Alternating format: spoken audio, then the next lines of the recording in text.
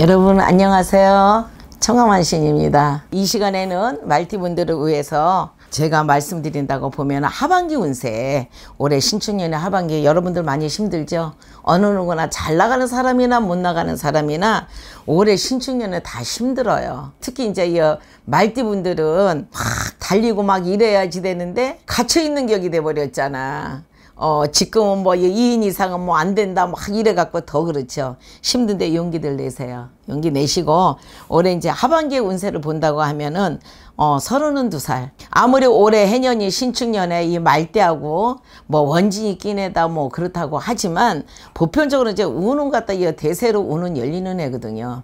그래서 32살 여지껏 이제 힘들고 잠자케 있던 것이 다시 솟아나는 올해 운이다. 올해 운은 하반기 운을 보면은 이제 10월 달서부터 이제 운이 열리면은 내년에는 33살이에요. 그럼 합수가 이제 6회가 되고 그래서 어 내년에 올 이제 10월 달서부터는 하반기 운이 열리니까 그냥 뭐 마음껏 발휘하세요. 마음껏 발휘하고 뭐 누구 눈치 볼 거 없어. 근데 잠깐은 이 경호생들이 지금 꽤가 많고 이래 갖고 어, 좀, 뭐, 이 농땡이도 부린 사람도 있고, 이제 막 그러거든. 근데 이제는 놀 만큼 놀고, 쉴 만큼 쉬었으니까 달려보자. 마음껏 달려보자. 그거예요. 그만큼 이제 올해 운이 갔다 하반기 운세가 좋다는 얘기지. 뭐, 결혼의 운세면은 내년에 결혼의 운이 들어 있는 거고, 또 내가 무슨 공직에 이제 시험을 본다면 시험에 운이 있는 거고, 또 무엇을 하려고 뭐 내가 계획을 짜고 그랬다 하면 그 계획의 문이 열리는 애거든요. 귀인이 나서 너, 나를 도와주는 해년이다. 어, 중년의 운에서는 그래도 갖다 이 힘든 고비는 넘어간다고 봐야지 되겠죠. 그렇기 때문에 내가 자수성가를 하는 사주야. 때문에 무조건 달려야지 돼 그냥 앞만 보고 달려. 응. 그건 무조건 달리면 낭떨어지잖아요. 이랬는데 그건 아니야. 가다 보면 은 내가 정착해서 나, 아, 여기다는 그런 자신감이 생기고 내가 있을 자리가 여기라는 것을 본인 자신 느껴지거든. 그러니까, 뭐, 여, 너무 여, 어느 누구나 뭐 걱정하지 마세요. 무조건 걱정하지 마세요가 아니라 재물의 운이 열리는 곳으로 위해서 내가 여 달리는 거거든.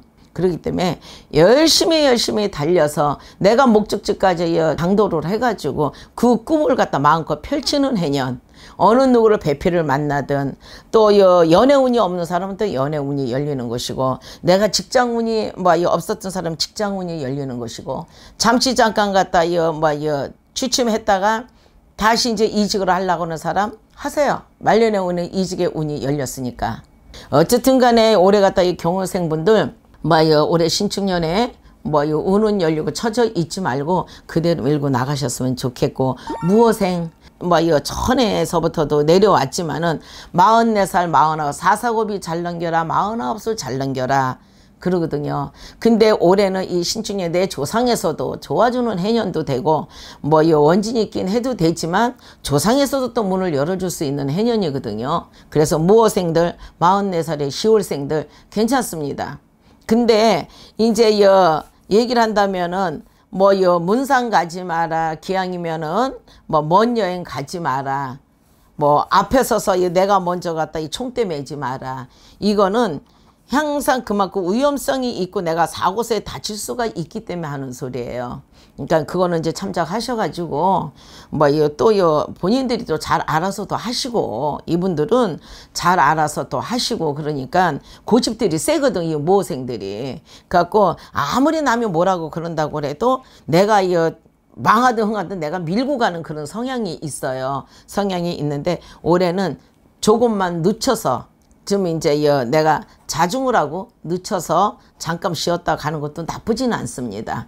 쉬었다가 이제 9월달부터 달리세요. 그러면은 푸른 벌판에 모든 야생애가 많이 있어가고 먹을 것이 흡족하고 재물의 운이 많이 들어오는 해년이거든요. 그래서 올해 44살 사서고비만 잘 넘으면 49살도 잘 넘어가요. 그래서 이 최고 고비가 내 조상에서 말하자면은 이 고비를 다 풀어주는 것이다 했으니까 뭐 너무 위험한 일은 위험한 일 하시는 분들 뭐 항상 매사에 뭐 조심하셔가지고 어, 내 몸을 아끼시고 그러셔가지고서는 잘 넘어갔으면 좋겠습니다. 사업의 운은 내년부터 있고 올해는 큰 운은 없거든요.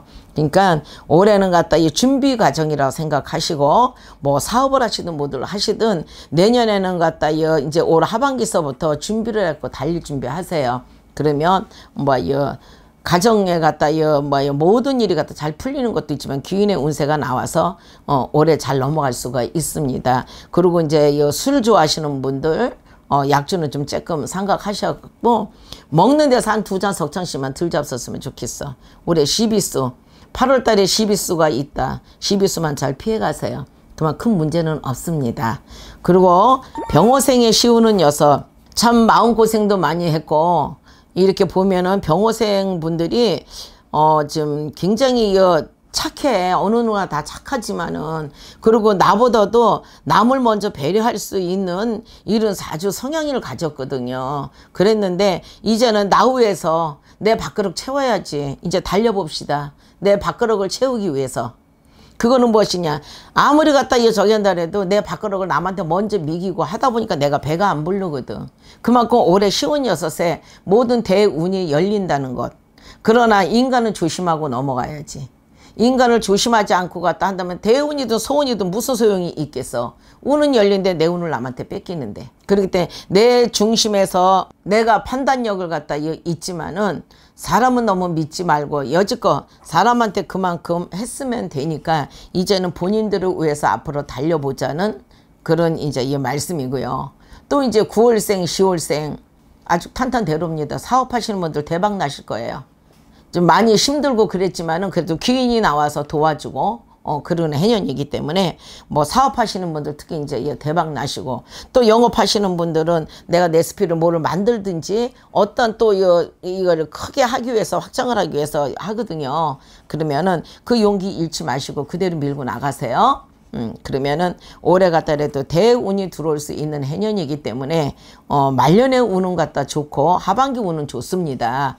그러니까는 뭐든지 어느 누구나 다 신중하지만은 그래도 귀를 잘 기울여 가지고 판단력이 흐리지 않게끔 내가 밀고 나가는 성향이 있기 때문에 그대로 나가시면 사업에 큰 성공을 하실 겁니다. 다들 대박 나세요.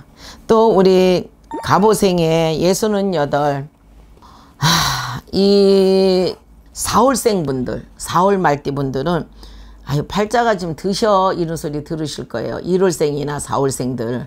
그러나 그래도 이제 초반에는 갖다 힘들었어도 하반에 말년의 운들은 좋아요. 그러니까 여지껏 힘드신 분들 이제 갑오생이 힘드신 분들 조금만 갖다 더 힘내세요. 힘내시고 부경화 이루어야지. 자손이든 누구든 어, 다 일어날 수 있는 해년이니까 올해 48에 그래도 이 건강 뭐 향상 건강 얘기가 나오는데 뭐 우리가 이제 예순 살이 넘고 나면은 또 허리도 아프고 무릎도 아프고 뭐 골다공증이 뭐니 뭐 혈압이 막 이러거든요. 어 그런 거는 내가 갖다 건강은 내가 지키는 거지 남이 지켜주는 거 아닙니다. 자식이 지켜주는 거 아니거든요. 그러니까 자손은 자손이지만은 나 위해서 내 건강을 서 나를 위해서 살자. 저는 그거를 갖다 꼭 확신하고 싶어요. 여지껏 갖다 자식과 남편을 위해서 살았잖아. 또 우리 아빠들도 마찬가지야. 와이프와 자식으로 해서 살았잖아. 나라는 존재가 찾아보기가 힘들었거든.